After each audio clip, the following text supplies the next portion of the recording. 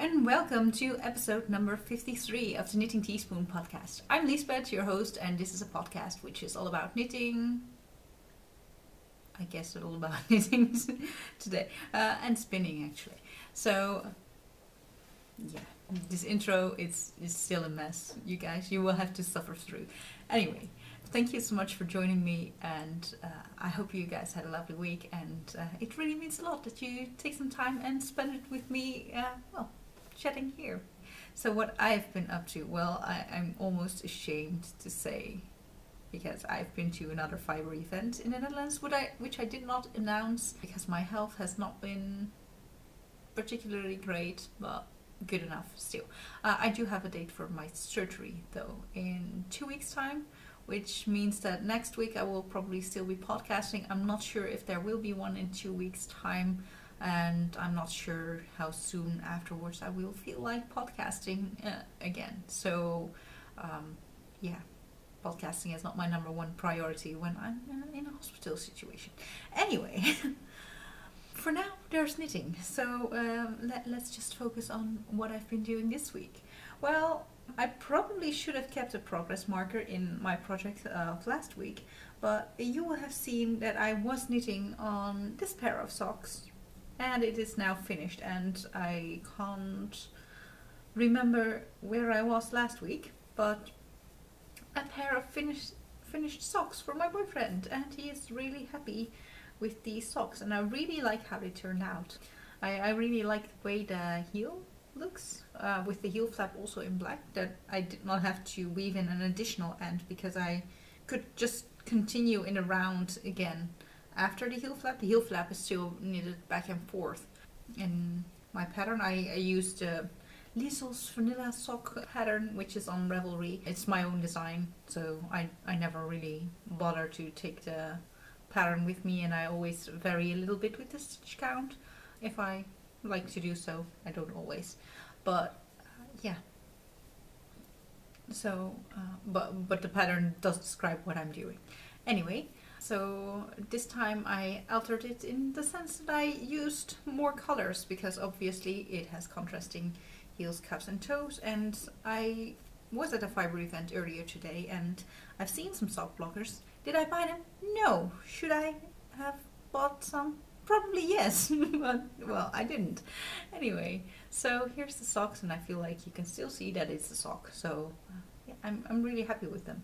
And my boyfriend has tried them on, and they fit, so uh, he's going to have them, but not until tomorrow, even though they were finished, I think, two days ago. And by finished, I mean like having all the ends woven in kind of finished, which is usually something that can take a few weeks after I finish knitting a pair of socks, but yeah, I, I managed to finish them. And you guys, I know why I don't usually use contrasting colors for heel stuff. Heel, heel stuffs and coat, no. Toes, heels and cuffs. Yeah, that's the right words. Anyway. Uh, oh my words. They are failing me. Anyway, so I, I know why I don't usually do that because I don't like weaving in ends and by doing something that looks as simple as this it just gives you six extra ends to weave in on a pair of socks which are completely unnecessary in my opinion but for this yarn I, I really wanted to use uh, a yarn with uh, nylon in the toes and in the heels especially because the rest of the sock doesn't contain any nylon. It's, I think, superwash merino with Donegal neps. I'm not really sure if it's a merino. I think it is. But it's uh, yarn by Mothy and Squid. And uh, it's their orange underwing colorway and uh, black. I looked up for last week's show notes what kind of yarn it is. And I already got again. I think it's... No, it's not opal. Schoppel. Schoppel Admiral. Yeah, I think it's Schoppel Admiral. So it's just a basic sock yarn. I think it's a German brand and plain black. And you guys, my fingers have been black for as long as I've been knitting with it. It was quite a disaster, so I hope that these socks are going to stay pretty. I did not wash them yet, and I consider uh, like trying to dip like just the toes and the heel and, and, and the cuff in it like like this and then hold it like there so, somehow maybe uh, use some pins to you know keep the rest of the fabric out of the water to make sure that uh, all the excess dye which obviously came to my hand so I'm fearing that it will also still be in the yarn and in the wool fabric yeah to make sure that they stay pretty. The rest of the orange doesn't all become grayish black so that's one project and my boyfriend has his birthday tomorrow so he will receive his socks tomorrow for his birthday and tomorrow is the 6th of April. I'm recording Monday early again. Um, so just so you guys know, not that it really matters I guess if I podcast a day in advance or or on the same day. I, I don't think it matters that much. Anyway, so a pair of socks for my boyfriend and he will love them then he wants more than just a pair of socks. He actually really wants some new gamer gloves because I've knit him a pair of gamer gloves and they're just out of reach, but I'm going to pick them up anyway. I knit him a pair of fingerless mitts, which I call gamer gloves, for him, which he uses behind the computer. And here they are, and they're knit out of 100% alpaca. And uh, yeah, um, you can see that they have been used. let's, just call it that way. I've washed them several times, but I think most of the this kind of sizzling, felting, something happened just because um, he has been using them a lot. And uh, you can kind of see that this is uh, the right hand where he holds his mouse, and this is the one he uses on the keyboard. So this one has definitely worn more than the other one, which I think is quite funny to see. Anyway, so yeah. Um, the, the back side of the hand obviously does not, um, you know, run into as much friction, so they are a lot cleaner. Hmm. And a bit of fluff. anyway, so uh, yeah, I could probably try to get some of the felting bits off these gloves, but honestly I don't think there's any point because my boyfriend will keep on using them. And he uses them every day so it's even hard to wash them sometimes even though they have been smelling sweaty at some point. So I, I just stole them from him and mm, forced myself to wash them because it, it was getting kind of gross. Anyway um, but he loves using them too much to for me to be allowed to wash them. so that's a good time. But he wants something similar to this. So in Scotland, I purchased some yarn from Kathy's Knits in Edinburgh. And it was this yarn, which I have conveniently lost the labels of. And it's JC Rennie & Co. And I think this color is Azure and this one is Winter White.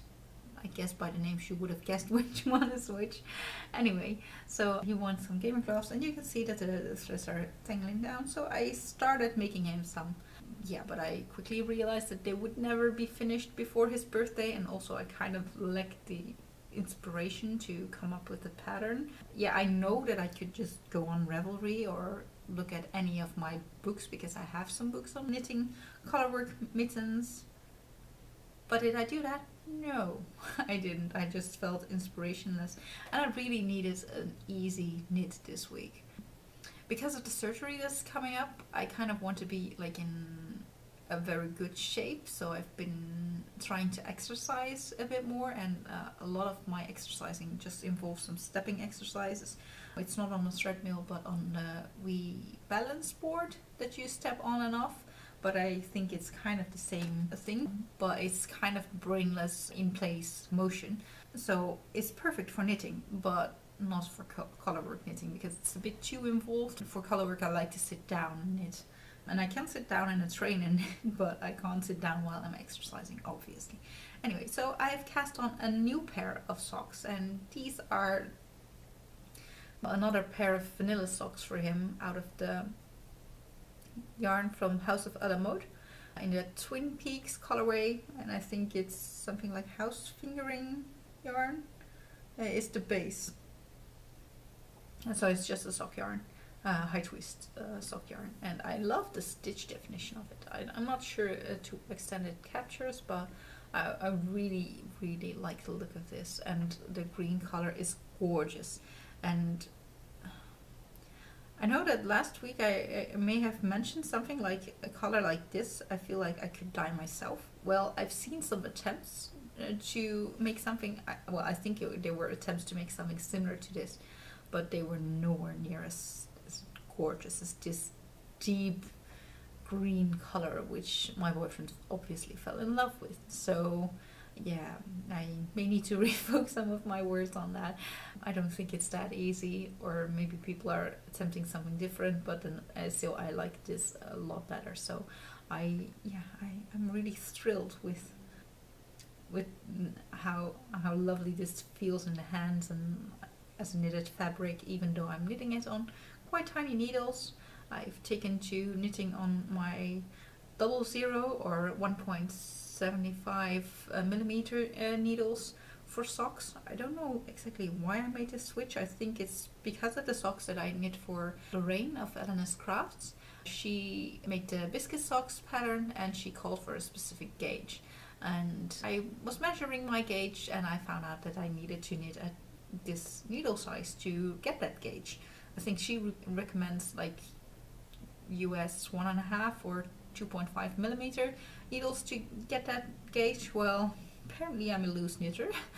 Uh, so I, I needed smaller uh, needles to obtain that gauge and I I quite like it. I and especially with a yarn that is this precious I just want to have a tighter gauge to make sure that these socks will actually last very long because well let's just make our money worthwhile I guess and our time in knitting it. So uh, yeah that's uh, my project that I'm currently working on. And there's one more knitting project that I've been giving some love and it is a pair of socks. Who would have guessed? Because apparently all I ever knit is socks. Except for an attempt at mittens which I put aside quite quickly this week. So, hmm, might need to, to rethink what I do with my life if I only knit socks. And uh, well, here's uh, one of my project bags and in it is my pair of fishy socks. And I have some exciting progress on it. Not that it really looks that exciting because I'm on the heel and I think I might already have been on the heel and I've been doing some weird kind of increases in the heel but I I just loved the fit of this this heel it, it made the color work look so nice so I'm really glad that the other sock I will only have to rip back until like here before I start uh, the heel increases and that the rest of the sock uh, will just turn out lovely. So um, yeah. Once I get the I'm not sure no it's not after I finish the green socks because the green socks are my easy knit and this is a more intricate knit so um, yeah I don't know but uh, it, it really gives me some courage to to continue knitting on it and I only just finished this part of the sock yesterday evening so I have not really had any time to knit on it anymore because today I took the train to Tilburg to go to Knit a Knot, uh, which is a fiber event in the Netherlands. So yeah, I have not really had much time to knit on it anymore. And the rest of the time that I've been at home went into my spinning project. And I have, I, I think I may have picked up the drop spindle a few times again this week, but I'm not 100% sure if I did that. But I'm really sure that I have been spinning this week, and I, I think I will leave the drop spindle project uh, for some other time to show you, because I don't think there's any significant progress since the last time. But uh, yeah, I did finish uh, spinning these two singles from, um, th these were from a top from Golden Fleece Studio, which is um, Etsy store uh, and it's from the Netherlands so I, I kind of like uh, buying from the Netherlands and I will get into that a little bit more uh, later today but uh, yeah. And also these colors are so so nice and golden and this is what's going to be the other ply. The, this came from a bat and this was a fire uh, a, fiber pack with some uh, which consisted of three separate pieces of top. So there's actually two colors of the, the golden brownish color. So there's one that's slightly more yellowish and one that's slightly more orangey and I'm not really sure if I can point it out uh, in here and there's the white top and the the, the brown one golden brown ones they were both 100% um, merino I believe superwash but I'm not 100% sure on that one. And the white one was merino with silk. Not really kind not really sure what kind of silk. And there was this fire star a bit that I chose to spun through this ply as well. So I um, I think all of these contents are also present in this bat but they were divided slightly different. And there's a, a more dark brown in in here but I'm, I think this is going to be lovely.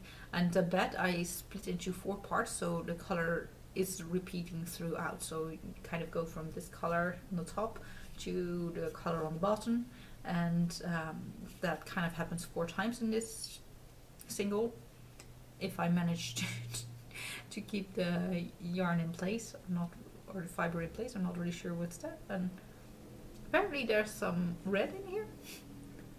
Had not noticed that before but apparently it's there. So uh, yeah we will see how this turns out and I'm, I'm excited to apply these together and see what kind of yarn I get. Um, this was quite an interesting spin because I had to do a lot of pre-drafting for the fibers to work because I used uh, roving which was uh, pretty standard size I guess for uh, a roving but I really really split it up into like pencil roving I think to make sure that for this one this single because this is a single it, it kind of looks barber poly plied but that's because I've held um, three colors of ply plus a little bit of fire star together throughout the skein. So I'm pretty sure that there's bits where I have failed to capture all of the colors at the same time. But yeah, it, it should be kind of even throughout the project. I, I know it's not, but that's the joy of handspun. It's, it's not perfect. It's got some character. yeah. Um, but it was a very interesting spin because this uh, really required some more preparation, whereas this bat I just split up in into four pieces and, and, and kept going. So this one, uh, I think just a preparation for a small bit took me about as much time as just spinning through a quarter uh, of the bat. I quite liked uh, spinning from a bat actually. I'd never tried that on the wheel before, so the first bat I've spun from is actually the, the one that I'm currently using on my spindle, but um, yeah, I was kind of holding back on trying that and I don't really know why because I now know that I quite enjoyed spinning from a bat actually so yeah, I may have to try that again in the future because I quite enjoyed it. Did I do something with that on, on the fiber event today? No, no, no, no. I, I, I don't think about those kind of things. not until I realized that I maybe should have done something else. But uh, I don't think there were many bats. In I don't know. I actually have not been looking for bats. so there might have been. There might have been. So I said I, I was going to leave it for next time to show you guys, but I I have my spindle right here and I have some confession to make because last week I dropped my spindle and I kind of lost a bit. So a shaft of this lovely spindle, it um, it fell off but this week I got glue and I glued it together again. So it's a, it's a well circular spindle uh, again. It was still usable uh, uh, when uh, the little shaft was off, but I I like it better now that it's fixed again. And the lesson that I learned. Well, I do have the, these carpets in some places in my house, but most of it is wooden floor. So but if I am going to spin again with my drop spindle, do it uh, above a softer background and not just drop it on the wooden floor because one is probably going to make holes in my floor at some point and two my spindles might break and I think well there's no 100% guarantee of course that it won't break if you drop it on carpet but I feel like the chances are smaller because it's a softer landing for your drop spindle. Anyway, I still love this spindle and I think it's just because I treated it badly that it, it broke. But yeah, I was a little bit disappointed that it happened, but uh, yeah, I'm really happy that it's fixed again. And I look forward to spinning the rest of the batch because the yarn from Spin City is lovely. So I think I've uh, talked you through all the projects that I've been working on this week, but well, except that I've been doing some sewing preparations, but I've not actually been sewing, so I don't think it's particularly interesting to look at square pieces of fabric that are cut out to, to become uh, project bags at some point. But uh, I've told you that I went to a fiber event, and yesterday I saw on Instagram that Spinspul was there again. So uh, I've been to this fabric fair called Knit and Knot uh, before, and I purchased the yarn for this cardigan that I'm wearing today um, from Spinspul, I think about two years ago. I think last October it was a year ago, so maybe one and a half year ago. I purchased this fiber and it's, uh, well, it were it, they came in four braids and two of them were 100% BFL and the other two were 100% uh, merino. So I used one ply of merino together with one ply of BFL and I spun this the yarn for this cardigan. And this cardigan is um, the Dusala cardigan by Åsa Tricosa but I've been boring you to tears about I think uh, in the previous uh, episodes because I the, the pink cardigan uh, that I've recently knit is the same pattern but uh, with the obvious addition of the lace from the Japanese knitting stitch part.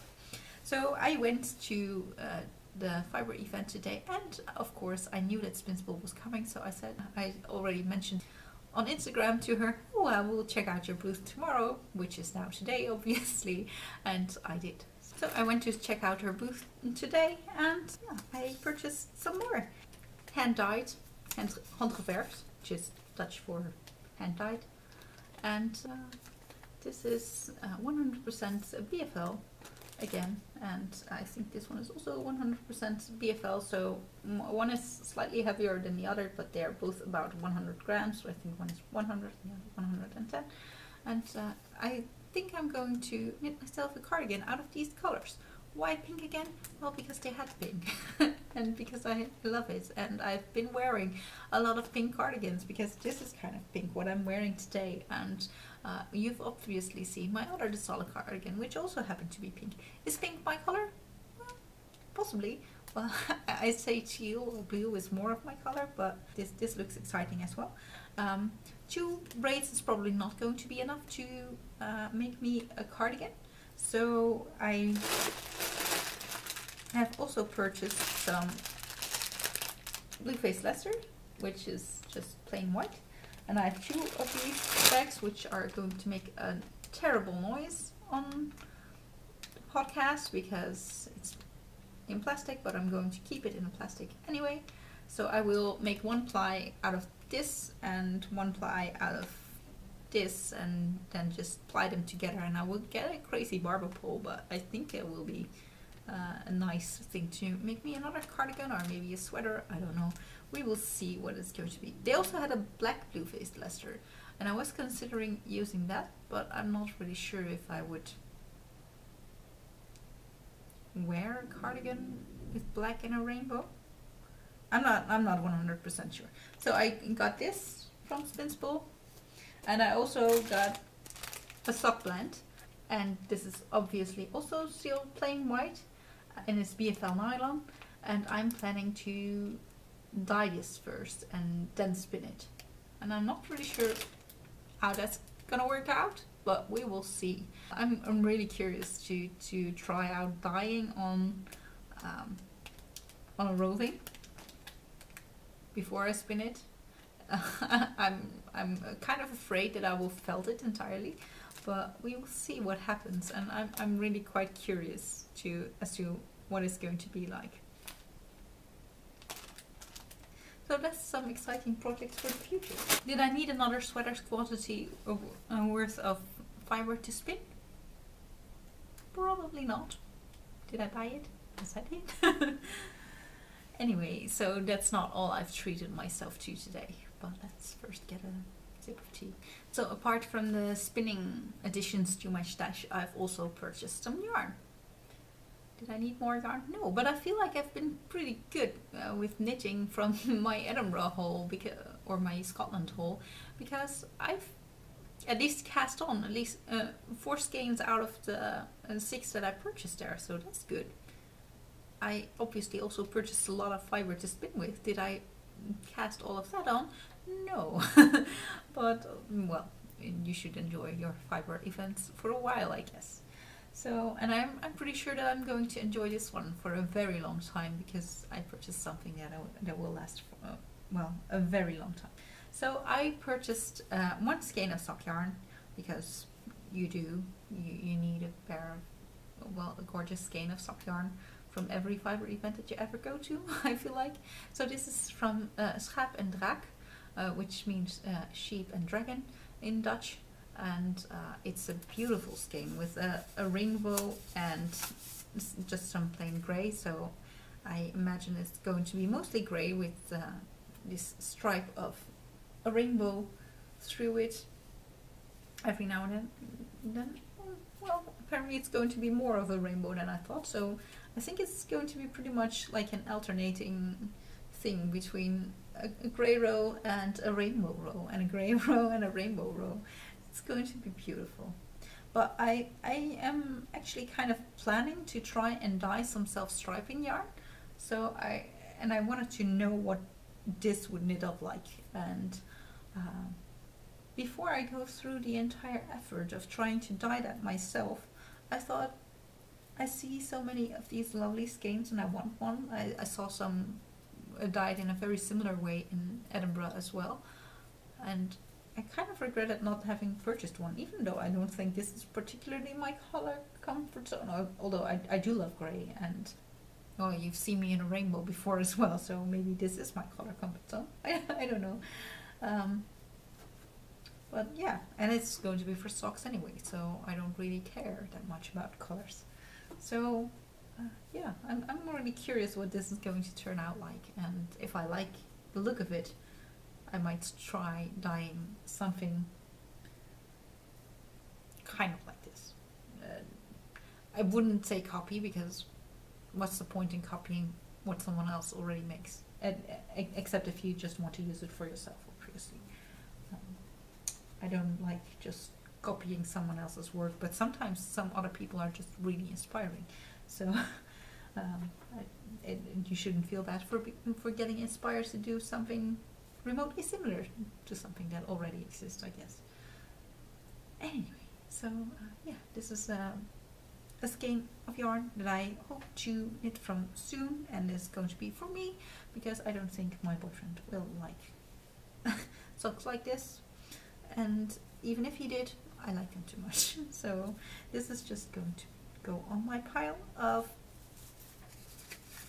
sock yarns that are very pretty and that I kind of need to knit from. And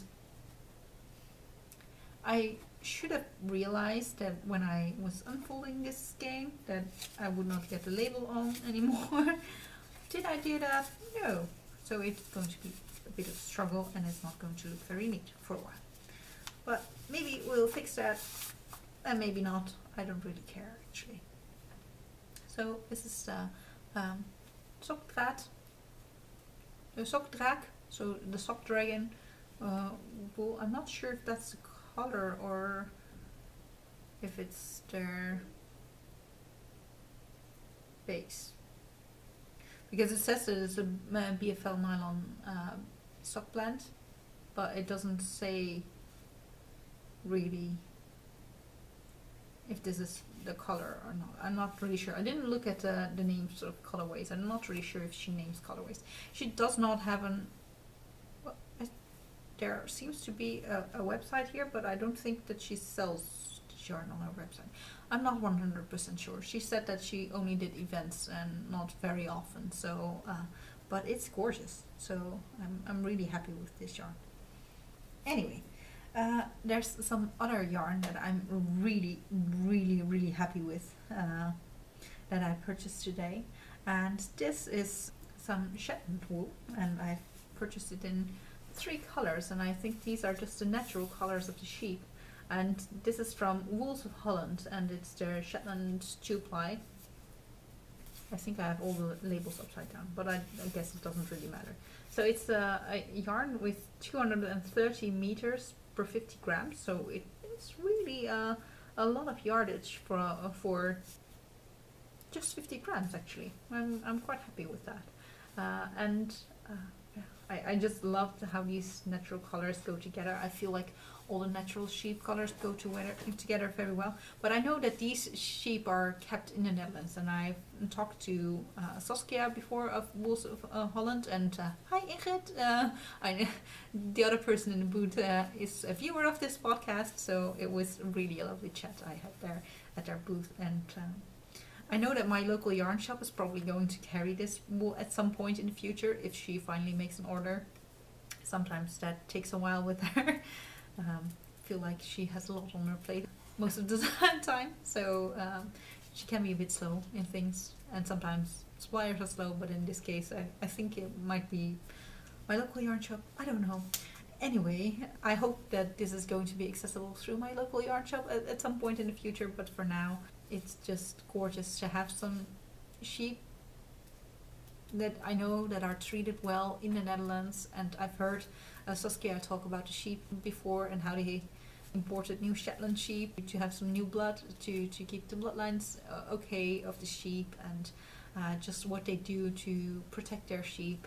It's it's beautiful and well, it's just really nice to hear about sheep and then get to use the, the final product. So this is just the Shetland uh, sheep that they have, but they also have the Kempisch Heideschaap. I don't know how you would say Kempisch in, in, in, in Dutch because Kempisch, Kempisch Heideschaap, but I think it's just from the Kempe and it also says Kempe.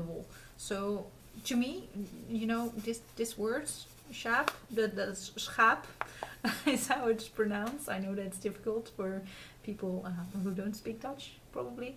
But uh, yeah, so this is a Dutch breed, and the sheep they are in the Netherlands, and this one is dyed blue. I, I'm not really sure how they dye their yarn actually, but I feel like this set and this set is probably going to be something beautiful like um, well these three together and these two together are probably going to make some lovely mittens at some point and it's not particularly soft but I just love it because it's it's Dutch yarn and I love having Dutch yarn and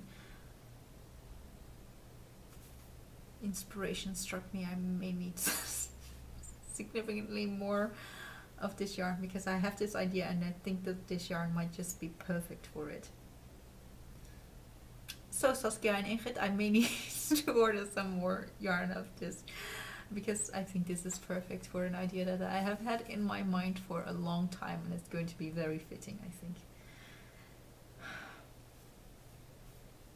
Yeah, I, I'm just in love with this yarn.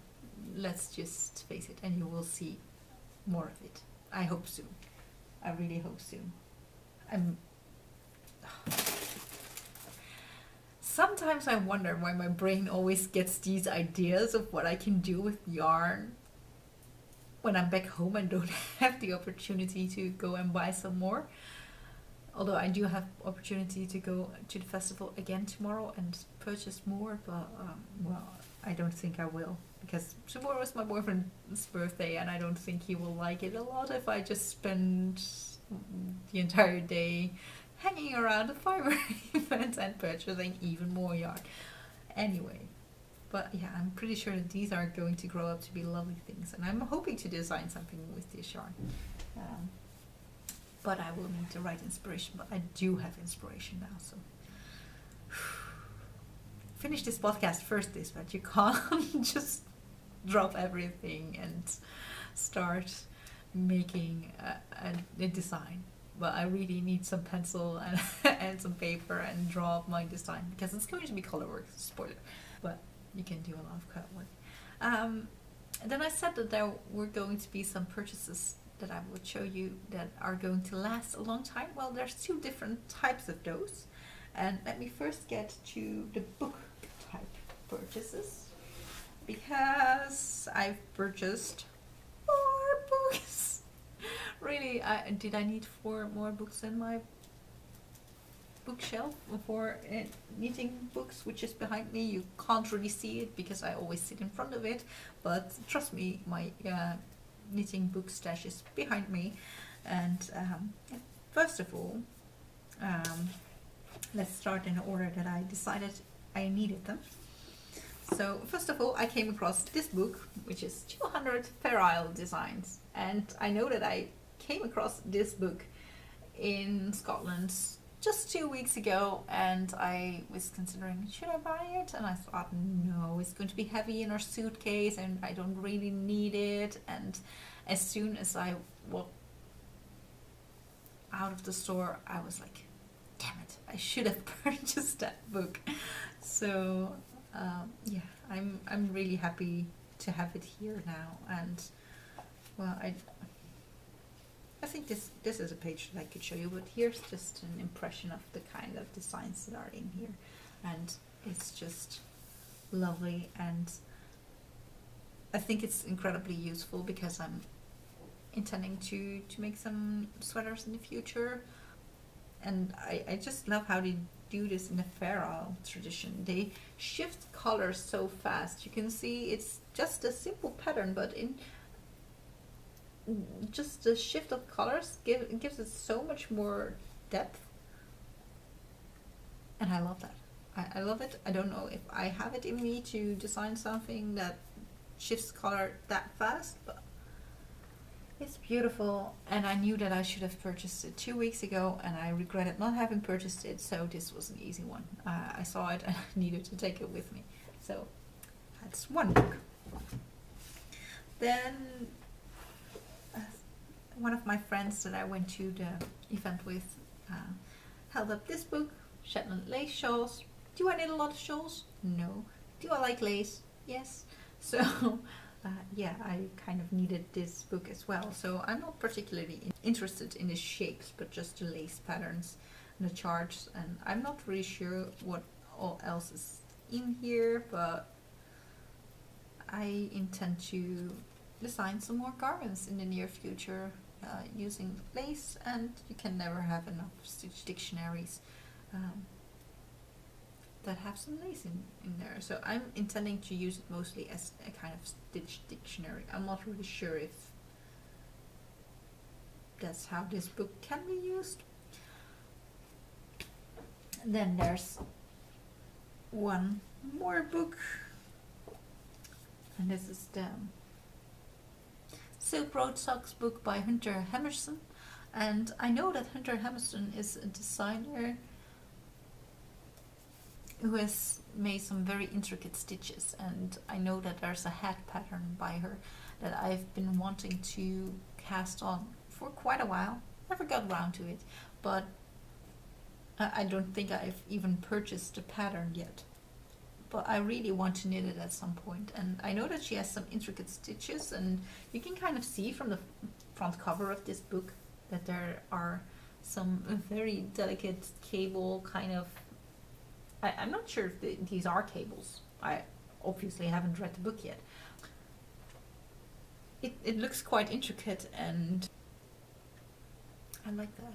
I, I do know that I've also just said that I need easy socks, but sometimes I also need more than just easy socks. So uh, here I have a book full of patterns um, to make me some more intricate socks. And,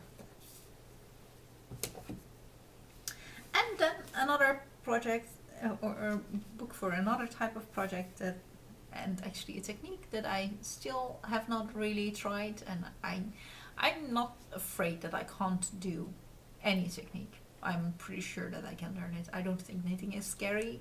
You, if anything, you need to read back a bit and and continue from there. And if you end up with a tangled mess, you just may have to say goodbye to some lovely yarn, but that's really all that's going to happen to you. So in that sense, I don't think knitting is scary at all.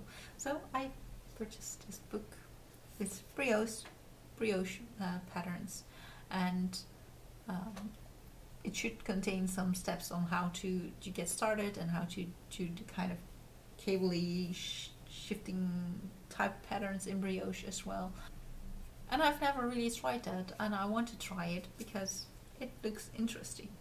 For some reason, I'm not particularly attracted to brioche, but I really want to have tried knitting brioche. I want to be able to say that I've done brioche. And I feel like I keep on postponing doing any brioche and I should actually try. Maybe I'll love it. so, so uh, yeah, you guys, brioche is a thing and I want to try it. So here's a book that should help me. Uh, so books are very long lasting things, I guess. So I hope to enjoy those very, for a very long time. And there's also been another purchase that I, I hope that I will enjoy for a long time. First one that I may not enjoy for such a long time, but I've purchased knitting needles, six of them. They came in sets of two, and these are very sharp and tiny needles. They are 0.7 millimeters, and some people and there, there was this one booth where they had the, these really tiny knitted animals and uh, clothes and, and as accessories for, for those and um, I'm not particularly interested in making such tiny animals but I just want to be able to make something with these tiny needles and I don't happen to come across such small needles very often so I thought let's just purchase them now and uh, well we'll see if I ever get to using them. But if I don't use them well they don't take up a lot of space because they're very very small so uh, yeah my newest set of knitting needles I may need to hold them all the way here and I think there's just a tiny piece of felt to kind of just keep the needles together because otherwise you would probably lose them and I kind of got them in an envelope because otherwise they would probably already be bent or or broken or something or just poking through my my bag. So yeah, six needles. I don't need six needles, I think, but I wanted to be able to knit in a round if I ever got around to trying this, and I know that you can knit in the round with four needles, but I prefer knitting with five needles, and they came in sets of two, so I kind of needed to purchase six. I got a discount on that because apparently not many people buy that many needles at once. Anyway, um, uh, speaking of uh, buying more needles, I also purchased this kit of ChiaoGoo needles. So I got a wonderful gift in June, July-ish of this year uh, of a set of ChiaoGoo needles and I've been in love with those needles ever since and I wanted to expand my collection of ChiaoGoo needles so I now have the small set. So far I've only had the sizes triple zero, US triple zero to one and a half, so 1.5 millimeter to 2.5 millimeter, those sizes. And I've already expanded my collection with the shorter uh, needles, so they had very short tips for the um, the short circular uh, sock knitting and now I've expanded my collection upwards with the 2.75 millimeter to 5 millimeter and that's US um, US 2 to US 8 I believe it should be on here yeah 2 to 8 um, in US sizes and uh, it should contain some cables and, and everything to get me going so I'm really excited to have these out of ChiaoGoo. Did I really need them? No, because I have a set of HiyaHiya Sharps that covers the exact same range of knitting needles. But do I want them anyway? Yes. I'm not really sure if it does contain a 3mm needle actually. I'm not really sure. I will figure out. Uh, anyway, uh, I yeah I added this to my collection and uh, I obviously hope to enjoy knitting with these needles for a very long time. I also made sure to purchase some additional connectors for my mini cables to the large needle tips so that I can use all, all of my cables that are small enough for all the larger needles as well. Uh, I thought that would come in handy at some point. Whew. yeah, I think that's everything that I've had to share with you. And I'm sorry if you don't like acquisition kind of podcasts that I have had two in a row now, but I don't think I will be purchasing a lot more in the near future, except that I have also kind of ordered the sweaters quantity for knitting for my boyfriend and a pullover for my boyfriend from my local yarn shop. Yeah, there will be more stash acquisitions, but that will only be just one type of yarn, so maybe that's not that bad. I don't know. I don't know why I'm purchasing so much lately. I really don't need to enhance my stash anymore. So this is my stream of shameful consciousness. anyway, thank you so much for joining me this week. It really means a lot that you keep on coming back to this podcast and uh, yeah, uh, hear me talk about yarn and apparently also about my yarn acquisitions and my process of making yarn and using it. Anyway, I hope you guys have a lovely week and I hope to see you again next week. And after next week, I don't know when I will see you again, uh, but we will see. So, uh, have a lovely week. Bye!